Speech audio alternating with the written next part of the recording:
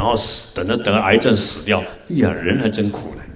我们出家人就是为了不要生死才出家的。真正的自杀的人，不是杀掉身体，是杀掉轮回贪嗔痴，把它断掉，不来轮回了。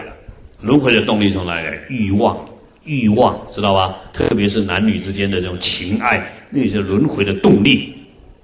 啊，各位还没结婚的，不要谈恋爱，好不好啊？哎呀，这下惨了，不谈恋爱怎么活啊？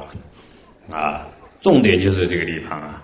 哎，你能够断除情爱，解脱了，出家人就是这样，啊，所以出家伟大伟不伟大？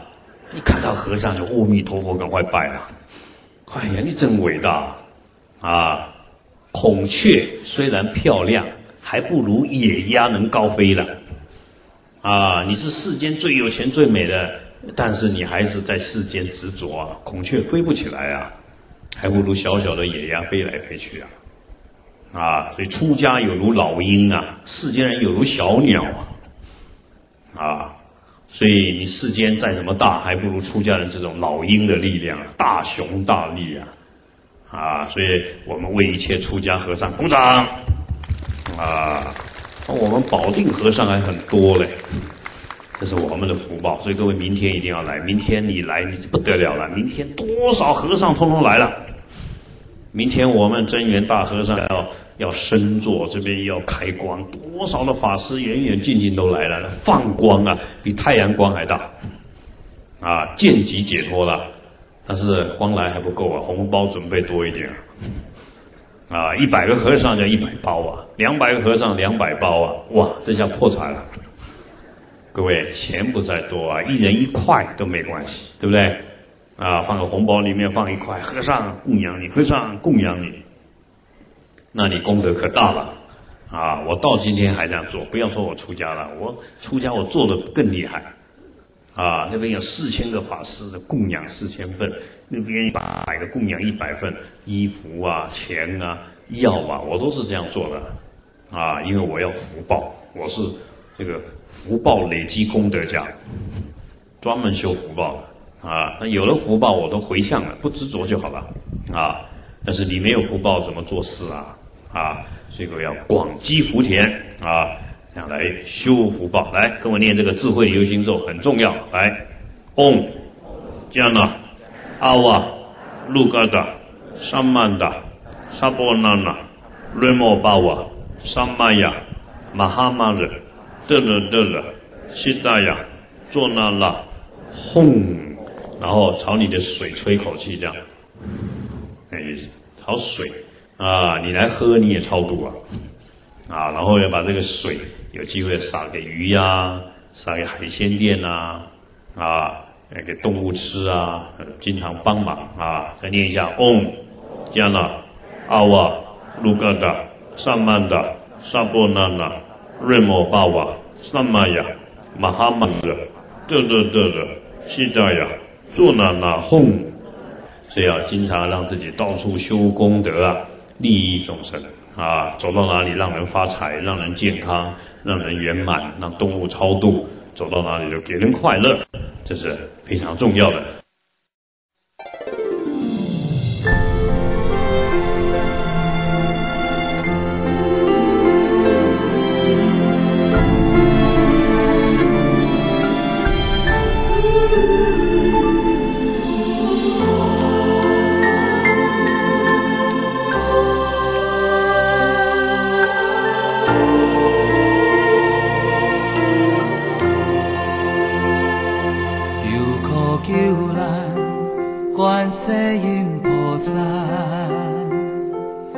露水化去咱心头的郁闷，清凉海，指引我生死的迷途，千处祈求，千处樱花，叫一声应万声，求苦救难的菩萨，叫一声。应万声，大慈大悲的菩萨，观音自在，观世自在，任何境界拢是自由自在，叫一声应万声。好，各位，当你拿了钱布施啊、要盖佛像、盖寺庙，心里快不快乐啊？佛要我们享受这种布施的快乐，你看这样子的快乐啊，马上把你心中的贪心给消除掉了。所以呢，来跟我背寄语哦，很重要。来，布施得大富，持戒得升天，忍辱相庄严，精进有功德，禅定得法喜，般若断烦恼，五戒十善得升天。慈悲喜舍身梵天，涅盘得解脱，波罗蜜得成佛。啊，整个佛教就这几句话而已啦。啊，所以我们常布施，大富大贵。再来要守戒律，五戒、八关斋戒、菩萨戒。啊，再来修忍辱，相貌庄严。精进的人有功德，福报大。你打坐禅定念佛啊，法喜充满；有般若智慧的人断烦恼，守五戒十善业，生生世世做富贵人乃是升天。进一步修四无量心，慈悲喜舍四无量心，升梵天乃至做上帝。那哪一天呢？你能够断贪嗔痴，贪嗔痴三毒断了，真涅盘了，解脱了。但是佛教最究竟的目的，要我们成佛啊！成佛就要圆满波罗蜜。波罗蜜叫六度波罗蜜啊，要圆满啊！背次来布施、持戒、忍辱、精进、禅定、般若啊，六度波罗蜜圆满就成佛了啊！我们要这样子来修行。再来，请翻到一百一十二页啊！我们要祈请哇，印光大师、弘一大师、元婴大师这些大菩萨，赶快趁愿再来呀！来度我们，来引导我们，啊！所以有更多的大德趁愿再来，真好。去了也要来啊！啊，念佛往生极乐世界是为了来才要去啊！啊，我怕我能力不足啊，所以呢，我一定要哎，赶快呢趁愿有空心不退转，回向说婆，广度众生。所以各位。有人说：“哎呀，师傅，我刚结婚要怀孕。”我说：“那你要跪在佛前求啊，求啊，求啊，求和尚投胎做我儿子啊。”然后呢，我就要让他出家利益众生啊，这样生儿子快不快乐？快乐啊！我就是这样来的。啊，我妈呢生大的，生二的，大哥、二哥生到我经常庙求求求，投了一个和尚儿子来啊，这样也好哎，来报恩嘛，啊。所以各位，你有那个愿啊？哎呀，我怀孕，怀孕是个苦啊！妈妈伟大，但是我要让儿子来啊，来修行。但是有个缺点呢，你一怀孕以后你就不能吃肉了。你和尚儿子都不吃肉了，啊，叫胎里素，胎里素啊，生下来小孩子。你看佛教有的佛教优生学都改变了啊。所以各位，但是你要做佛母也不容易啊。你要让这些大菩萨投胎在你的身上。你要有很高的德行啊！像释迦牟尼佛的他的妈妈摩耶夫人，一整年没有跟他先生睡觉啊，天天守八关斋戒，天天布施啊，这样子的圆满的戒律，终于感召了佛陀入胎啊！啊，白象夜夜梦啊，晚上做梦到天上入胎了啊，白象入胎，这样呢生了佛陀，但是他生完佛陀七天就死了，生完佛陀七天就死了。这也是佛陀的本愿。为什么佛不希望他的妈妈太爱他？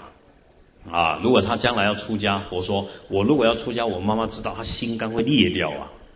啊，而且而且这些这些圣母的胎也不能让别人啊再投胎，所以七天完以后舍报，这什么意思？这是福报。你生完我以后马上升天，所以佛母马上就升到忉利天。这是孝顺妈妈，这不是妈妈死，这是孝顺妈妈，让妈妈不用在这人间苦了。她妈妈没有无苦而死的，她妈妈是因为生完佛以后，然后流血，然后晕，然后死报，没有痛苦，啊，在世间来看是很惨，但是在佛法来看，这是报母恩呐。先让妈妈升天，我成佛以后再度妈妈，所以佛还升天讲《地藏经》度摩耶夫人，摩耶夫人现在已经做大菩萨，将来也成佛。啊，这个是一个很伟大的一种修行方法啊！还要不要听我讲故事啊？这一首歌故事我每次讲，啊，很重要的一个故事，我想很多人听过了，再听一次。有个妈妈。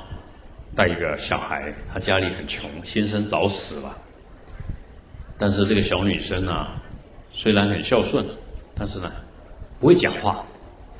妈妈为了要帮这个小女生讲话，白天她还要去工厂做工，赚一点钱维持家庭。晚上呢，就唱就带这个小女生唱这首感恩的心，啊，唱的很大声。小女生每天很认真的学妈妈唱，但是就是不会出声音。啊！但是妈妈还是不放弃，天天教她。然后妈妈每天去工厂上班回来，小女生都不乱跑，一定在五点多就守在家门口等妈妈回来，因为她知道妈妈好累哦，而且妈妈一定会买一份她最喜欢吃的点心，好高兴啊！啊，每天妈妈回来，她就守着妈妈，妈妈带点心，晚上就教她唱歌，她一直学，虽然出不了声音，啊。但是有一天晚上啊，五点等到六点，六点等到七点，等到八点，妈妈还没回来，天又又下雨又冷，妈妈怎么没回来呢？小女生就很急呀，自己就走走走走走，往妈妈工厂的方向走了一个钟头，终于找到妈妈了。哎呀，原来妈妈做工太累啊，在树下睡着了，她就赶快把妈妈抱在大腿上啊，妈妈先睡哦，睡醒我们才回家。然后又看到妈妈手上捏的她最喜欢吃的东西，哎呦，妈妈好爱我，啊，心里很高兴啊。虽然很冷，但是他发觉一件事情，他吓坏了。妈妈睡觉为什么眼睛没有闭起来啊？妈妈睡觉为什么眼睛没有闭起来啊？他吓坏了。原来妈妈死掉了。哎呀，做工又生病死掉了。但是妈妈死掉了，他哭啊，哭不出声音，又下雨又流眼泪，哭不出声音。但是呢？他又想，为什么妈妈死掉眼睛没有闭起来呢？一定是他放不下我，手上还捏着我最喜欢吃的，妈妈放不下我啊！我一定要让妈妈能够放下。妈妈虽然死了，所以他用了这一辈子最大的力气啊，他一定要让妈妈能够放下，就把这一首歌唱出来。一唱出来，还真出声音了。感恩的心，感谢有你。还唱完以后啊，他妈妈的流眼泪。一流眼泪，眼睛就闭起来了。妈妈安息的走了，但是从那个时候开始呢，他就要勇敢的做他自己，啊，这样呢让妈妈安心了。所以我们以这样子的心来感谢一切妈妈、一切众生对我们的爱、对我们的付出。花开花落，我们一样要珍惜。不管事情变得怎么样，我们心还是保持一个利他的。慈悲的感恩的心。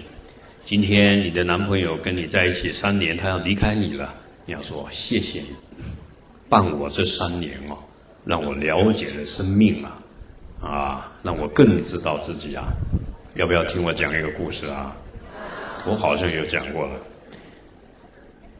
有一个年轻人谈恋爱，哎呦，他的女朋友好爱他，他也很爱他女朋友。谈爱恋爱三年，两个好快乐，决定要结婚了。那决定要结婚，他他的嫁妆什么都买好了。突然，那个女生啊，宣布要跟另外一个男人结婚。哇！这下这一位痴心汉可苦了，天天哭啊，哭啊，很恨啊，哭啊，躲在家里啊，像是病。后来有一个老和尚啊，就跑到他家里面去，他正在伤心。老和尚，你找我干嘛？老和尚说：“来来来来来，我手上有个镜子啊，给你看一看。看镜子干嘛？结果老和尚镜子一拿出来，里面像电视一样，开始演了。海边，哦，一个海边。结果在海边躺着一个死掉的女人的尸体，脱光光了。哎呦，好可怕！结果有一个男人走过去，哎呦，死人了，跑掉了。第二个男人走过去，哎呀，死人，可怜的女人脱光光躺在海边。”好可怕！但是他虽然怕，又有同情心，赶快把他的外套脱下来盖在他身上，噗，赶快跑掉了。结果过了没多久，一个男人又出现。哎呀，死掉的女人晒太阳，皮肤快烂了，好可怜，好恐怖啊！但是虽然恐怖，他还是有慈悲心哦。他就挖了一个很大的洞，把那个死的女人埋下去。当这个那个镜子演到这边的时候，那个男人就变成什么？变成他现在女朋友要嫁的男人。哦，这个时候这位这位失失恋的更生气，你干嘛演到他？那老和尚就说了：“哎呀，我跟你讲啊，那个死掉的女人呐，就是你的女朋友啊。你知道你是谁吗？你就是那个第二个男人啊。你对她还不错啦。”把他衣服盖在他身上，所以他欠你三年债，三年快乐吗？他还完你了，但是第三个男人他欠他一世债，所以他叫他做老婆了。人家把他埋起来了，你只布施衣服而已啊。所以各位，世间讲姻缘，真是如此。所以各位，你走到哪里都要跟众生结好缘。地上一只死老鼠，不要踹他一脚，不然你完了。又怕他踹你好几脚，赶快给他埋起来，念阿弥陀佛，埋葬起来，生生世世他成为你的贵人呐。所以佛为什么叫我们不要杀生啊，不要吃肉啊？哎呀，你吃他你就欠他债，结恶缘哦。你给他做什么事他不理你啊，找你麻烦啊。你跟他结善缘，走过路边看到死掉的阿弥陀佛，像我们在高速公路开车，猪啊，一跑过去，我就把窗户打开，南无宝济如来。那司机干嘛？啊，保记录还不够啊！这个水就往啪啪啪一直喷呢。司机还骂我，骂我没关系。我要让猪听到保记录来，阿弥陀佛，脱离恶道。我要洒水在他身上，而且一定要念准提咒。为什么？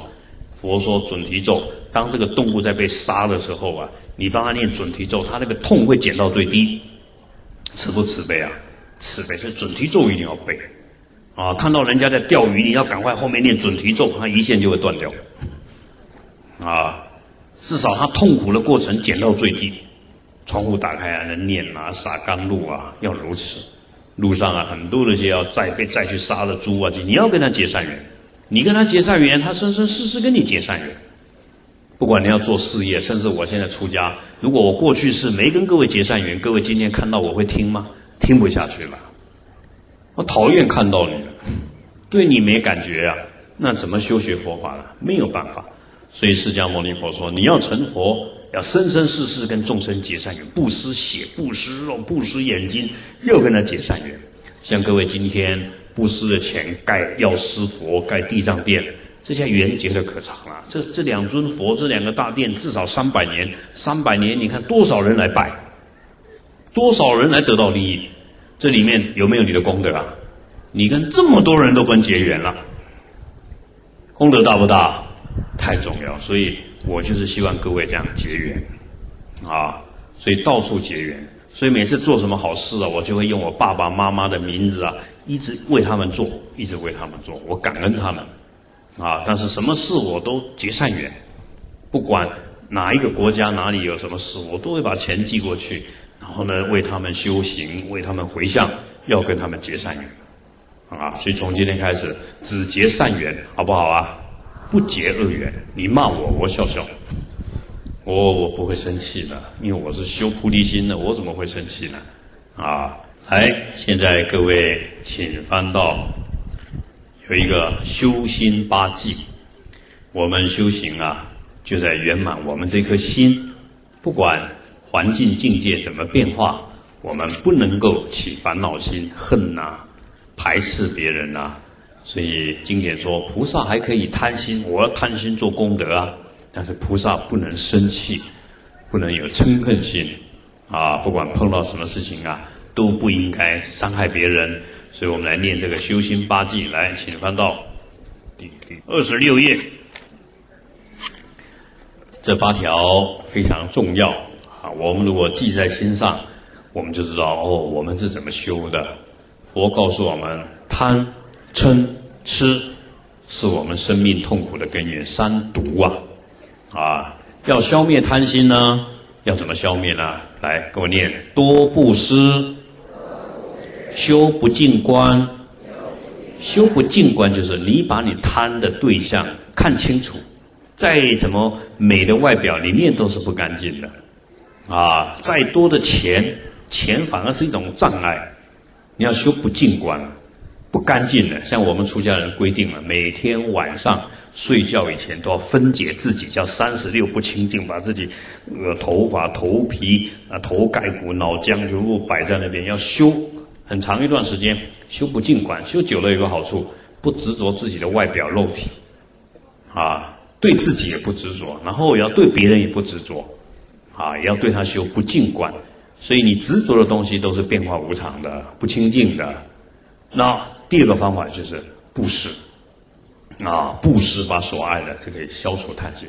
那要消灭嗔恨心呢？那各位要修忍辱，修忍辱，修慈悲心。修慈悲心呢，最好的修法是什么呢？来念一下：自他交换。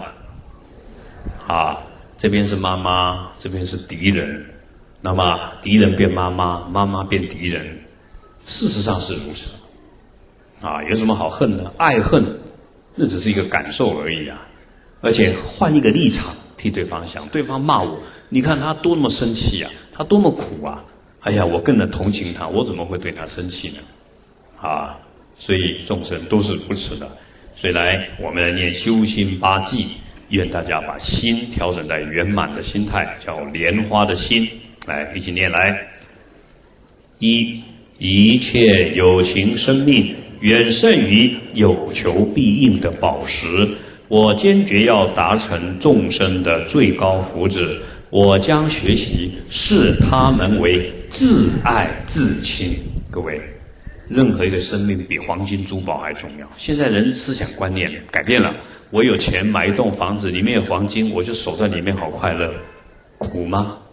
很苦，没有人，没有众生，哪有快乐？像我现在最快乐，看到各位坐在那边看着我，我最快乐了。啊，有鸟可以渡哦，然后呢，轨道中晚上还要施死啊，友情生命才是我生命的宝。我对什么都没兴趣，钱啊、宝石这些对我没意义的石头而已啊，啊，没意义，但是拿来用可以，把钱拿来盖佛寺，把钱拿来地震赈灾，那有用，其他没有什么用了，啊。所以能够面对有情生命，才是我们最大的快乐。所以各位修行不要讨厌人。我我最怕，我师父常跟我讲，很多修行人呢，一修行以后就躲在山里面打坐，阿弥陀佛，阿弥陀佛，看到人都不笑了，不理了。啊，看到人很讨厌，你来找我干嘛？好烦啊！那你完蛋了，那你没有修行了，酷酷的。对友情，看到友情，看到妈妈，妈妈来了哎，啊，众生就是佛哎，所以要把友情生命。最他最需要的是什么？他应该要怎么样？一切都为他想。第二，念下来，无论如何与人交接，我要学习视自己为所有人中最卑下的，并且从我心深处恭敬地视他人为至尊。从今天开始，当你会拜佛，你把头放在地上干嘛？土地以上的都是我们尊敬的。我是最卑下的，众生才是最高贵的。印光大师说了：“视别人为菩萨，看自己为凡夫。”千万你不要说我对你错，那你完了，换了我慢。一定是你对我错，你的错就是我的错，他非即我非，同体名大悲啊！啊，你不能把错怪别人啊！所以呢，从内心里面恭敬生命，请各位记住哦，我师父常讲，拜完佛转过去，一切众生都是佛，开始拜。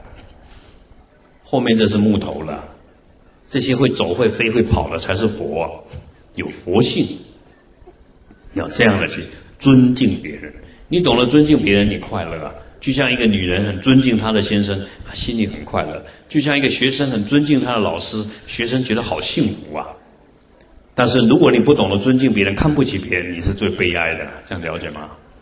啊，说好众生皆有佛性，我好尊敬啊！如何让他们成佛呢？啊，第三念一下，我将学习在一切行为中搜查自心，只要有一烦恼升起，危及自己和他人，我将坚强面对，并避免烦恼的伤害。不管做什么事情，人家坐了你的椅子，人家拿了你的东西，这些行为里面，你要观察自己的心，千万不要让这个贪嗔痴跑出来，千万不要让这个排斥恨跑出来，啊，因为呢，你这样做不但害自己，也会害别人。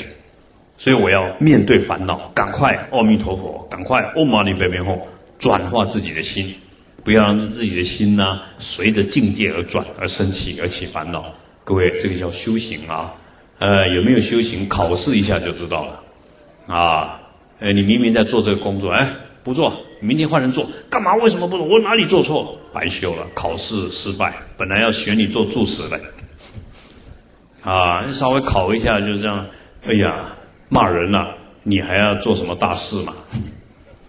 所以各位要要随时告诉自己，我在修这个心啊。第四，你下，我要学习去珍爱心性不良的人，以及重大罪行与强烈苦痛压迫的人，就像我找到了珍贵的稀世珍宝。你看，地震了，很多人受苦受难，大家捐钱呐。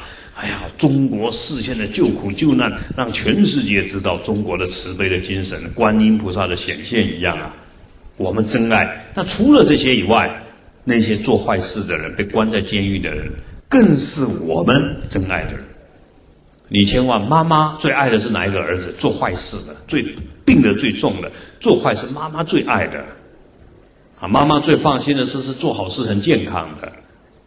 所以，阿弥陀佛要渡人，都是那些要堕落地狱的。阿弥陀佛最爱的就是忤逆十恶的人。所以各位，不要恨别人，不要讨厌别人。这个人越坏，你才能够修忍辱、修空性、修慈悲。这个人是你修行最好的助缘才对啊！你不要讨厌他啊，就像找到珍贵的稀世珍宝一样。第五，当他人出于嫉妒而恶劣地对待我。虐待我、诽谤我、类此种种，我将学习承受一切的损害，将胜利献给他们。他对我越不好，我对他越好。啊，我希望他所做的不好，我来替他承受。而且啊，我我我念佛修行功德要回向给他。各位要修这个自他交换，你修这个自他交换是最容易达到空性的。为什么？把我执我慢消灭掉啊！生命最大的敌人就是这个我执啊，自以为、自我中心啊，狭隘的主义啊。那这个是是你妨害你正空性的。你发菩提心要度众生，如果你没有空性，怎么度众生呢？所以你这个我执要把要用炸弹把它炸开啊！谁来帮你炸？就是那些伤害你的人帮你炸开了，如获珍宝啊！所以各位，如果你真的要成佛，你要这样准备。啊，你要有这样历练，生命要有这种历练。一个柔和文雅的人，都是经过大磨练的人。啊，这个人稳如泰山了。所以啊，太硬了容易断，知道吧？要柔软，要柔软。这个就是我们修行一个柔软的心，这个很重要啊。把功德给他们，要天天这样想。第六，你想，当时我满怀希望去帮助的人。对方却毫无缘由的深深伤害了我，我将学习将此人看成优秀的心灵向导。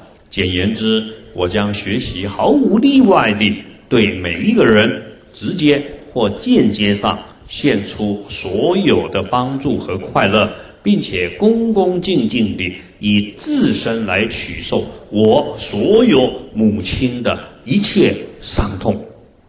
你怎么伤害我，我都把你当做是我最好的老师。没有你，我怎么成佛呢？怎么修空性？怎么圆满忍辱波罗蜜呢？所以各位，布施、持戒、忍辱，忍辱的功德超过于持戒跟布施。所以有人来找你麻烦，你能够修忍辱做好啊。所以我经常这样学习。我每次都坐在机场等飞机，每一个走过去的人，愿他们身上的痛苦都给我。我在这边念佛修行，要把功德给他们。你坐在那边，有一千个人走过去，你修了一千次圆满的菩提心。啊，你不要不理人家啊！我的习惯，我的师父常跟我讲一句话，来念一下：对别人修大乘，对自己修小乘。这什么意思？小乘就是出离心呐。当我自己静下来的时候啊，我一定要消灭贪嗔痴。但是我看到众生，我马上要修慈悲心。我不会说看到别人我就把书本，我不管他，我在看我的书，我打我的坐，我不理他，那你就失去了修大乘的机会。虽然我在打坐，哦，有人找我了，啊，机会又来了，赶快修福报啊，修大乘啊，赶快把功德回向给他。但是一个人，我就修小乘断烦恼，所以也跟我背下来：动则修福，静则修慧，福慧双修。啊，一动看到人事物，哦，这我修福报的机会来了。布施、持戒、忍辱，动则修；静下来，那我要断烦恼，体证空性。静动动静都在修行。啊，打坐禅修不是光躲在黑暗的角落，那是保持心灵悲智双运的状态，这个叫禅修啊。啊，时时刻刻走到哪里都含着慈悲与智慧啊。智慧就是不执着，慈悲就是爱，关心一切。所以我要用以自身的取受我所有母亲的一切伤痛。像各位今天坐在这边有很多蚊子，那些小飞蛾飞到身上来啊，哎呀，砰，解脱啊！我念了好多好多的佛号啊，你碰到我的衣服得解脱啊！啊，哎呀，赶快啊，要这样的去爱护啊！所以第七一起念下。我将学习继续这所有的修行，而不受八种成念的污点沾染。啊，八种呢？念一下：八风、嗔、饥、苦、乐、利、衰、毁、欲。像我唱歌，哎呀，师傅你唱的好好听，哎呀，高兴，我多唱一点。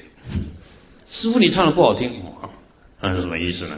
这个叫八风吹动了。啊，我说我不是唱歌啊，我只是用一种方法来表达佛法，好不好听没关系啊，我尽力了。啊，我这个人呢，没事。我为什么会演讲？我这个人是不讲话的人，我的个性就是沉默寡言，你相信吗？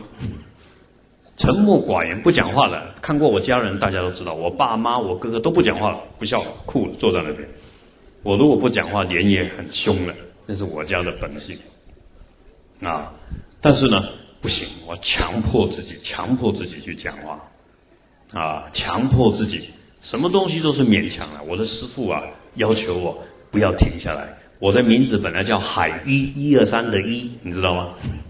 这是我师傅我自选的，海是不能改的。我师傅我用一好不好？我师傅说你要用什么法号？我说海一。我师傅说你为什么用海一？师傅，我这个人啊，残花败柳。杀盗淫妄酒毒什么都干了，没有一件没做啊！啊，那么老才听到佛法，三十三岁听到佛法，啊，三十五岁将近三十六岁才出家，现在我们台湾话叫半路出家，叫半途出家，啊，我已经是很完蛋了，所以我要好好的忏悔闭关，啊，我不再造恶业了。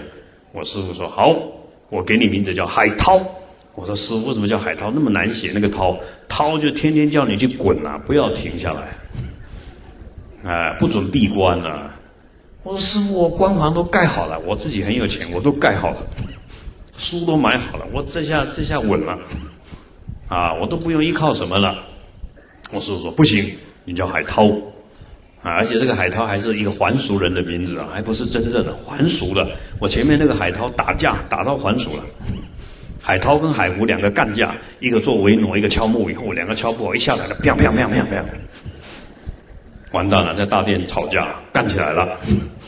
没多久，两个都还俗，海福、海涛通通走了。啊，我师傅说，我给你海涛啊，那是你福报。我告诉你，那个还俗的名字给谁用，谁都还不了俗。哎，还真的有用。所以我师傅都叫我们不要穿新衣服，像我们新出家了。每一个新出家都穿旧衣服，就是已经还俗的衣服给他穿，第一穿保证不还俗。